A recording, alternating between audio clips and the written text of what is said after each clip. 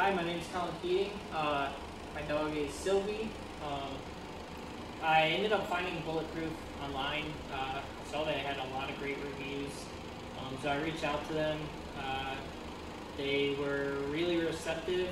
Um, she actually has some medical issues that uh, prevented me from actually being able to board her, but the Bulletproof uh, crew was willing to work with me as far as uh, still getting her 15 day training and making sure that she gets the best training possible and working around my work schedule, which really helpful, especially because uh, working on her manners is definitely going to help around the house.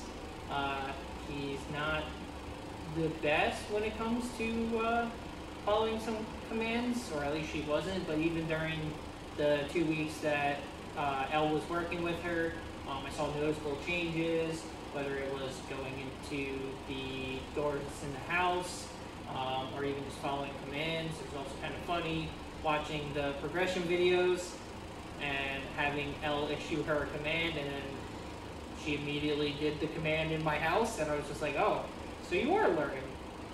Um, but yeah, definitely would recommend them. Um, they're definitely willing to work with me as far as getting everything done.